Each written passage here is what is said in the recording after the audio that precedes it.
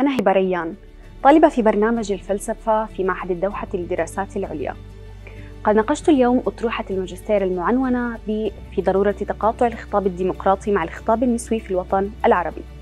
وأناقش إشكالية رئيسية. لماذا نحتاج إلى خطاب ديمقراطي يشتمل على الخطاب النسوي في الوطن العربي؟ ولماذا نحتاج إلى خطاب نسوي يشتبك مع الخطاب الديمقراطي؟